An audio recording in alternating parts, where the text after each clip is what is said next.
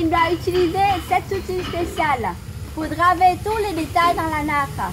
Et après, bon, il va draver les écailles d'un dragon, les plumes d'un oiseau, les pétales des fleurs. Tout ça, il va draver. Mais les motifs dans sa tête déjà, tout, presque par cœur.